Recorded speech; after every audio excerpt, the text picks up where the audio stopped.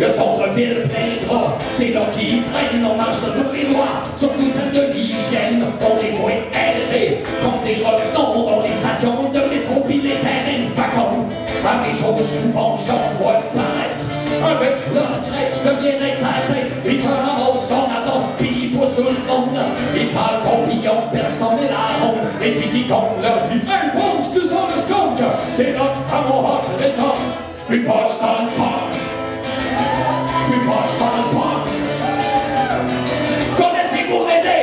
Il reste à Neuville, c'est un pont des champs, pas un pont des villes.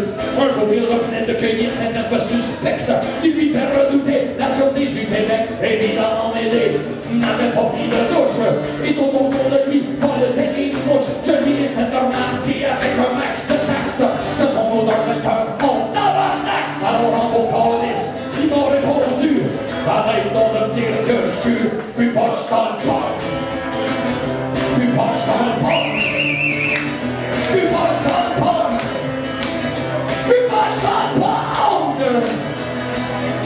la disons des.